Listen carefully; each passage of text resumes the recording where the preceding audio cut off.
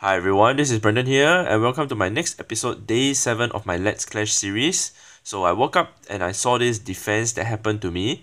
So this guy was using a mass giants to attack my base. So as you can see, my clan castle has came out containing some minions and even a balloon. So the balloon is going to do super duper massive damage to the giants, taking them all out now with just one drop of the bomb.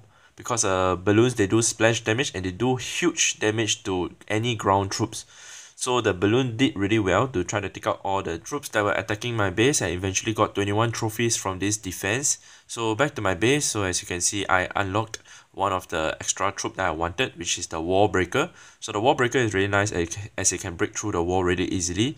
As just at level 1, it's not really um, of much use. So collecting the 10 gems from the achievement for completing to get the wall breaker done. And then eventually trying to get more gems from the bush. Getting 4 gems from the bush, which is really nice. So back to my base again, upgrading the army camp to the next level, level 5, which will allow me to bring 5 more troops into the battlefield and needing just one day to upgrade that army camp. So now getting more national flags to stock up for my next town hall level of level 6 so that I can upgrade my walls quicker. So now let's take a look at one of the raids that I like to show you guys. So this particular base as you can see is a relatively dead base whereby all the uh, resources are kind of on the outside, uh, on the inside the collectors and also the gold mines with like 150,000 gold and elixir available for me to loot.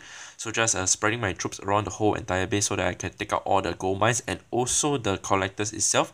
As you can see the storages they are pretty empty. So of course I'll be focusing on the outside the collectors alone. And as you can see on the top left too there is no uh, shield or badge some people call it as mentioned before that there ain't any leak. This person do not have any leak inside. So basically he's like inactive for a while and I decided to attack him. And then eventually uh, my CC came out with the balloons and then eventually took out some of the defenses. And then eventually the troops just continue to take out some of the resources getting up 55% one star. So going back to our base so as you can see the national flag I've been stocking up even more. And then eventually uh, getting more national flags to just prepare for the next town hall level. So another rate I'd like to show you guys is 300 over 1000 gold and elixir raid so I decided to go for it because definitely it's very high in resources. However, as you can see the storages inside at the uh, middle section there, they are pretty uh, full but uh, unfortunately I could get 230,000 gold from that particular base itself. And eventually once another army camp was completed I decided to upgrade the next one upgrading to level 4 in um, just a few more uh, hours. And then uh, just getting more national flags right now getting the last few national flags as I want to stock up all my national flags so that eventually when I reach to Town Hall 6, I can sell away all my national flags and get back 250,000, which will be technically like ready for me to use for my Town Hall 6 upgrades. Whether I'm going to use for walls, whether I'm going to use for any other defenses upgrades, that will be really nice. To have a spare 250,000 uh, gold with me, that will be really nice. But of course, I'll be upgrading my gold storages too, so that I'll be able to prepare to upgrade my Town Hall to Town Hall 7 and also be able to stock up more gold for my Town Hall 6 upgrades. So I know some of you guys will be saying that why did I rush my Town Hall to Town Hall 6 and even planning to rush to Town Hall 7?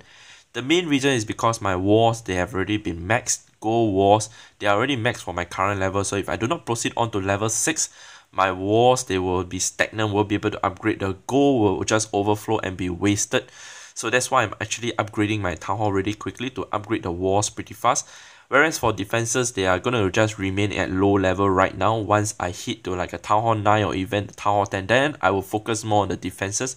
So as of now, I just focus upgrading my walls as they take really a long time and a lot of resources to upgrade them needing a total of almost 2.3 billion resources to upgrade them. So I really want to start them soon and then eventually be able to have an easy way around them. So this is another defense that actually occurred to me. So this guy was using uh, some giants, some healers, and in fact, uh, some goblins to try to take out my resources. So as you can see, the minions came out from my clan castle, taking out the giants and also the healers, eventually now trying to take out the goblins. However, they weren't able to take out the goblins fast enough and took out my gold storage, but only getting a uh, 56,000 gold from me. So that wasn't a too bad for me. So some of you guys also were saying, uh, why do I uh, stock up such a huge amount of gold is because I'm just preparing for the next level. And if I just go offline right now the defenses uh, do not affect me that much. Even if I do not have any defenses because whenever I go offline my resources are usually quite low.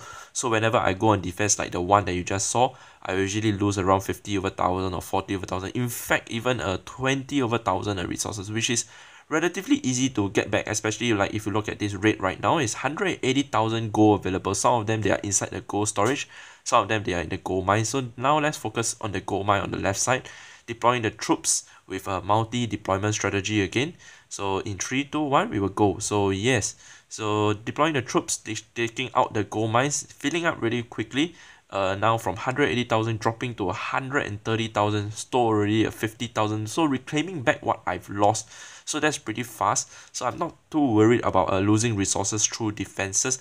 Um, just uh, worried for my trophies to be honest because I didn't want to go too low in trophies. However um, I just have to focus on attacking and winning the attacks and not losing the attacks. If I lose the attacks at the same time losing my defenses, then of course my trophies will go down very low and in fact low enough up to the extent whereby even maybe even reaching to like low or silver league and then I won't be able to find high resources bases as to where I usually like to find at which is like gold league. So now this particular base as you can see I was having a hard time trying to win this base and then I decided to drop my lightning spell. Trying to take out two builders heart. Unfortunately I could only take out one. And eventually I was left to the heroic archer over there trying to take out the dark elixir storage on the top. So eventually the archer managed to take out the dark elixir storage eventually getting us the one star 50% and however she got taken down by the mortar itself but ending the battle getting us the one star. So great job for that archer so now this particular base as you can see is very very very huge in loot. 386,000 468,000 elixir respectively. So as you can see I definitely went for it because it was so high in loot and I can see that the gold mines they are pretty full. Not pretty full but very very full. So went for it decided to go for the gold mines trying to focus on them. Some uh my troops trying to focus on the elixir collectors too. Uh really nice to find this kind of loot. As you can see also in the middle the storages the elixir storage and also the gold storages they are very full. However my troops are just too weak. Just having level 2 and level 3 archers respectively they are just plain too weak to try to get into the middle of the base. So just sniping the tower on the outside that was also nice so that I secure the win. And then eventually just ending the battle um, getting like a few hundred thousand uh, gold and elixir. So that was that was really good. So back to my base getting some gems from the bush itself. And then now doing another raid. So as you can see 205,000 gold. So it's pretty easy to find high resources bases. Sometimes it takes me around a minute or even uh, 3 minutes depending on my luck and of course depending on what time I do the search. Uh, I think uh, roughly the longest that I actually searched for at this particular town hall level to search for like a hundred thousand over a resources base is roughly a 4 to 5 minutes. Uh, I've not exceeded more than uh, 8 minutes to even uh, search for a decent base. So sometimes I just do not have the time to clash so I just uh, do a, a raid then after that I just go offline and eventually coming back online to um, sometimes be attacked. Sometimes not even be attacked. Uh, I do not know why people do not attack me. Sometimes even having like a 400,000 uh, resources in my base but nobody attack me. 4,000 resources people will roughly see around a few hundred thousand uh, resources available for loot.